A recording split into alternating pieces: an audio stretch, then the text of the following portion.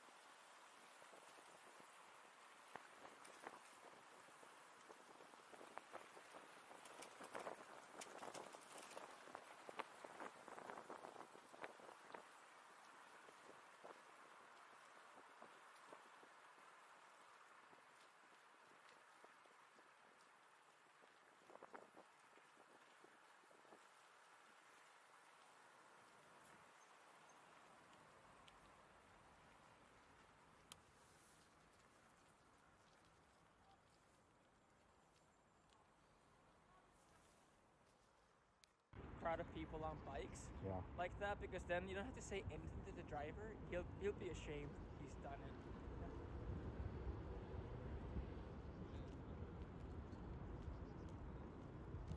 But if you look across the street, there's some new infrastructure, and even there's, as you can